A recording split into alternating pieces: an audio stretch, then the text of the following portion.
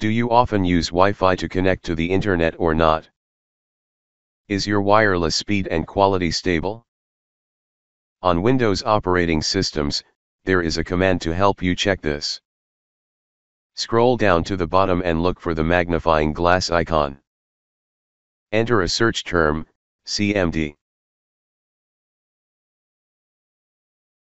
Click Run as administrator in the result.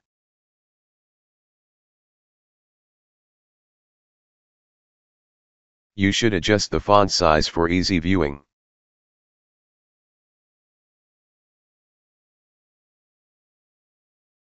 At the command prompt, enter the following command. netsh wlan Show Interface.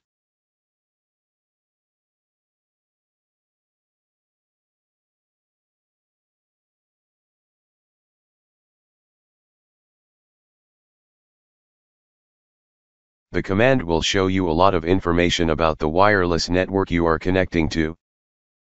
But you should be interested in the following information. Receive rate is the download speed. Transmit rate is the upload speed. And signal reflect the wireless signal quality.